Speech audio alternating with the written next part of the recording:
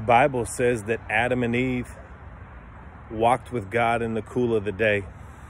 Now, I'm not sure if that cool of the day was the morning or the evening. I personally believe it happened to be both. Why not give God the best parts of your day? And so the morning and the evening, the cool of the day, those seem to be the best times to hang out with God. And this never got old because in a thousand years of walking with God, you couldn't scratch the surface on his goodness. You couldn't scratch the surface on how awesome he was. In a thousand years of spending time with God, you couldn't begin to comprehend how powerful he was, how righteous he was, how holy he was. You would hear stories of the angels. You would hear stories of what heaven is really like all in this time, you would look forward every day. You would run to the location where you knew your God was going to meet you a thousand years, and I can't comprehend how much He loves me.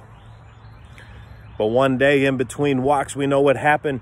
They ate of this fruit they picked from the tree that they weren't supposed to pick from. And then the Bible says that the wages of sin is death.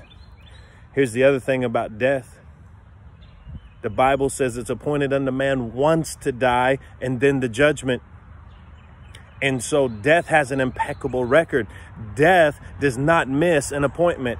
Death is always on time, right on time. You have an appointment to die. I don't know if you know that, but you have an appointment to die, and it doesn't matter who your mom and dad are. It doesn't matter what side of the country you were born in. It does not matter what religion you are, what religion you're not, whether you believe or you don't believe. We all are dying right now. And the Bible says it's appointed unto man once to die.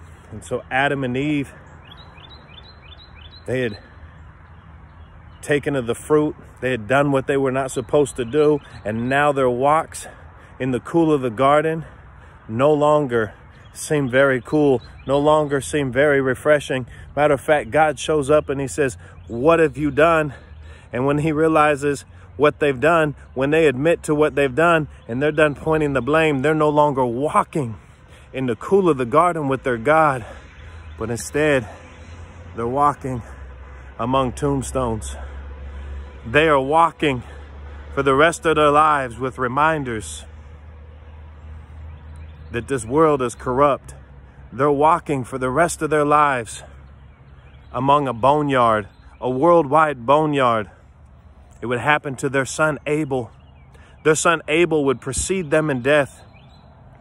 And as the population grew, crime grew,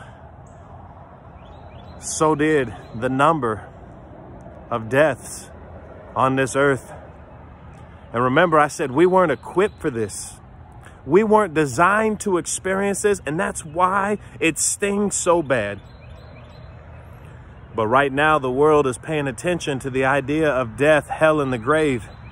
The world is thinking about whose funeral is next. Will they be able to attend it? Will it be locked down? Will it be shut down with over a million people worldwide experience this COVID-19? But COVID-19 coronavirus is not the biggest killer of man.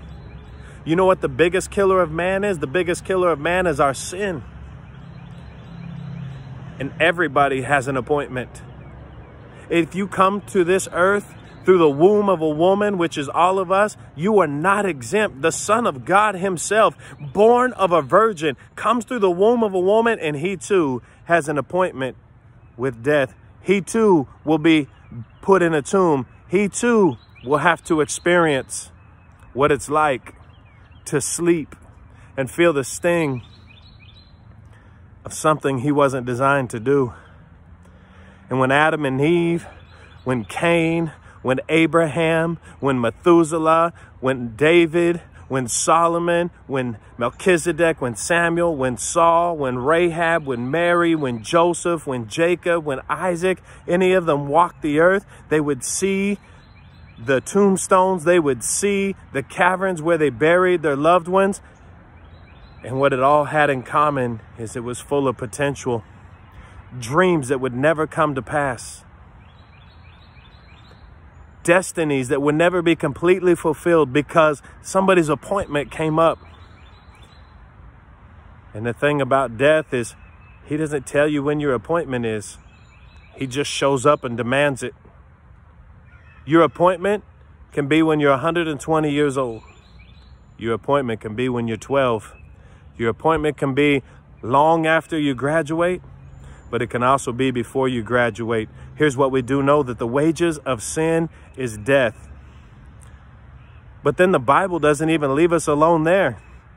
Not only does it say that the wages of sin is death, not, does it, not only does it promise that it's appointed unto man once to die, but then the Bible also says after this comes a judgment. It's appointed unto man once to die and then the judgment.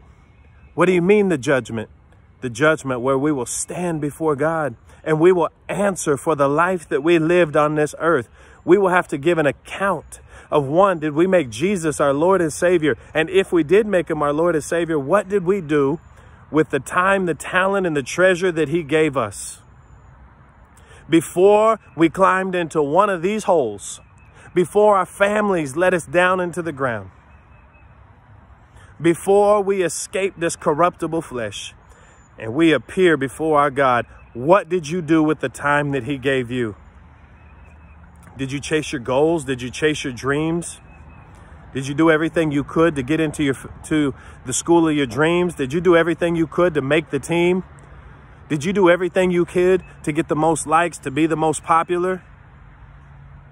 What did you do with the time that God gave you from the time you were born to the time you accepted him as your savior and then from the time you accepted him as your savior to the time you end up in one of these holes in the ground or end up in somebody's jar on, on a fireplace?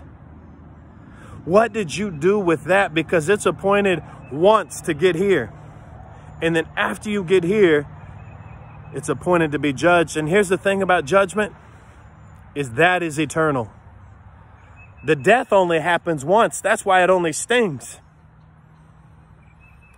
But not only does death sting, but then it also says that the law, the rules have power over us, and the rules can say, You did A, B, and C, but you forgot D, E, and F. You were not a good person. There is none good. There is none righteous, not one. And because there's none good, none righteous, all have sinned and come short of the glory of God. We have to experience the separation of God and have to end up in this place behind me. And to be absent from the body is to be present with the Lord, even if just for a second.